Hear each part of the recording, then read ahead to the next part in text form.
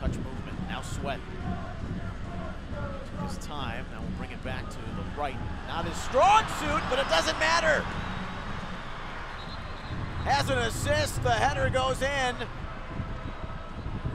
A heavy collision and a scary moment, but NYC has tied it with 25 minutes remaining. It looks like Herrera who has the goal.